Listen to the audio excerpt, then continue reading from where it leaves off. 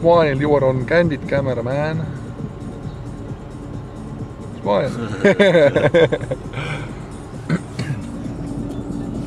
tahtsin Julia Kriiki, see on auto taga on üks baar on seal, tahtsin, mõtlesin number kahte vähe visata, aga number kahe place oli kinni pandud. keegi potirott. keegi oli potirotti pannud, polnud kuradi kakapotti kuskilt võtta oh.. videofilm näitab pähe valesti raudselt, aga pohhui.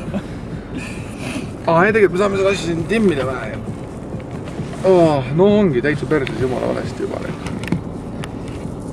noh. ta on ära teravustanud sind seal. see on küll paha uudis. otsib nägu, minu nägu, oo, mu nägu kaitses see on küll sitt uudis. no no, GoPro. et siis Julia Kriik, kilomeetrid on peal kolm tuhat ja kolmsada suhtarvust, ei neli tuhat kolmsada varsti, neli tuhat kolmsada jah, sest eile oli kolmkümmend kaheksa. uudis. uudis, viimasest tanklast on sõidetud kakssada kuuskümmend üheksa koma üks kilomeetrit. onu Ronni räägiks hea meelega kaamerasse, aga Kainipäev ei suuda. ma võin Kainipäevaga ka vähe pöla ajada.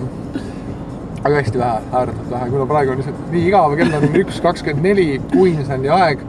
hommikul alustasime Queenslandis olles Northern Territory aja järgi, sest meie ajamasin siin näitas pool tundi vähem aega ja bioloogiline kell näiteks on stabiilselt seitse kolmkümmend start hommikul. ja siis õues on sitaks palav, nagu täiega. kolmkümmend kuus kraadi näitas Mount Aisas. ja hommikul kümne paiku oli kolmkümmend kuus kraadi väljas. ja Mount Aisa on siuke linn, kus ei olnud mitte midagi teha. aga iseenesest tegelikult see oli päris, päris okei linn, seal sai McDonaldsit süüa.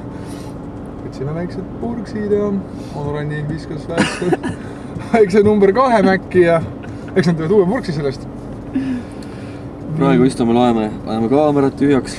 jah, kaamerad tühjaks, paaki täis vist ei võta siit, kaamera. kaamera paaki vist ei võta täis, ma ei tea, palju järgmisesse asulasse kilomeetreid on. arvan, et see siin on üks suht kolgas küla, sest et siin on ainult maantee, mis läbi sõidab. ja pane mulle istme alla. panen sulle istme alla oh.. ei olegi midagi. täis lakume ennast, siis võtame ühendust. ühendust, võtame uue kuradi videosessiooni ette, kui purju ennast joome. nii et kõike head Anu Ränni poolt ka. jaa